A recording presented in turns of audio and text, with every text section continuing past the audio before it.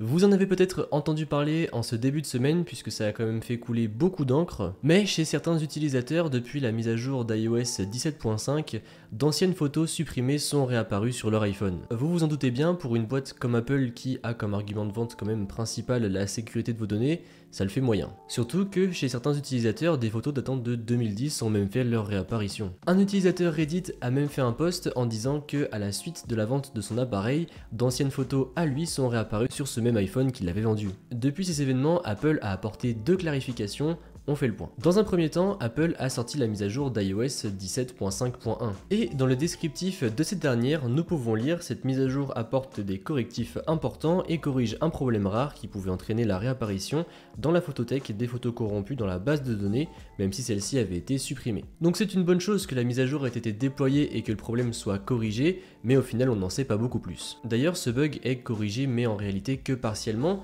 puisque si jamais vous êtes impacté par ce bug de photos réapparues, et eh bien malgré la mise à jour d'iOS 17.5.1, eh bien vous allez quand même devoir resupprimer vos photos à la main. Par la suite, le site 9to5Mac a reçu quelques explications de la part d'Apple et voici ce qu'ils ont dit. Selon Apple, les photos qui ne sont pas supprimées entièrement d'un iPhone n'étaient pas synchronisées avec iCloud Photos, ces fichiers étaient uniquement sur l'iPhone. Cependant, ces fichiers ont pu persister d'un appareil à un autre lors d'une restauration de sauvegarde, d'un transfert d'un appareil à un autre, ou depuis une restauration d'une sauvegarde iCloud mais sans utiliser iCloud Photo. Bon ça c'est ma traduction à moi mais si jamais l'article originel vous intéresse, je vous mettrai le lien dans la description. Concernant le thread Reddit et de l'utilisateur qui avait soi-disant vu ses anciennes photos réapparaître sur un iPhone vendu, eh bien il a été supprimé et Apple explique même que c'est totalement impossible. À condition bien sûr d'avoir bien respecté les normes de réinitialisation de votre iPhone avant la vente. Pour rappel, afin de réinitialiser un iPhone, c'est très simple, vous allez dans les réglages,